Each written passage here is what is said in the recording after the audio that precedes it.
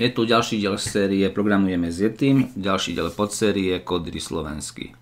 Venujem sa tu tréningu, som v časti začiatočník v kapitole For In, level číslo 3.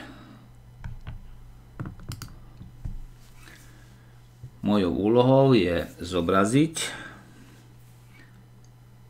indexy daného pola ako reťazce v poli.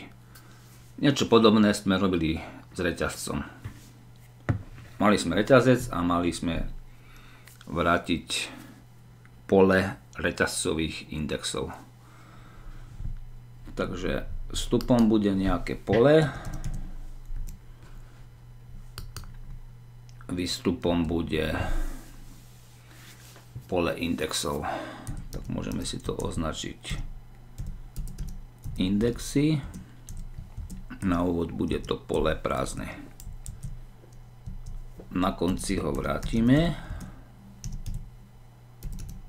No ale samozrejme najskôr to pole musíme nejako vytvoriť.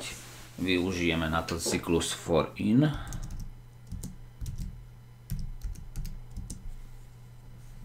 Použijeme premennú i. Ideme prechádzať tým polom.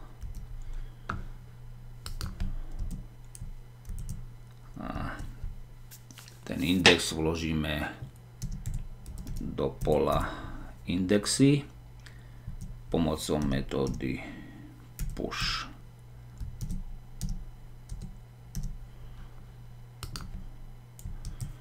Malo by to byť v poriadku, vyskúšame si to. Žiadna chyba ani chyba elegancie.